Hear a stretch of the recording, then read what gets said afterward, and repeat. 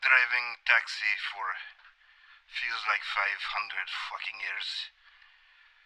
And you know that for the scum sucking fucker drivers that don't don't drive this job, you know. Anyways, someday would actually not be quite a good, uh, would be nice job, you know.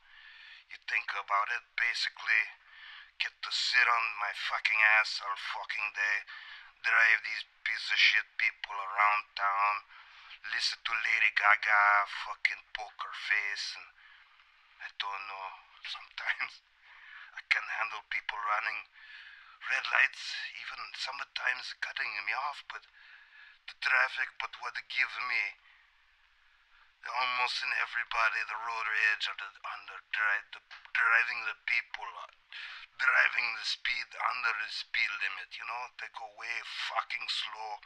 It fucking piss me off. It take, it's like a computer. You try to download the porn, and it take fucking forever, super slow, you know, fucking bullshit, man.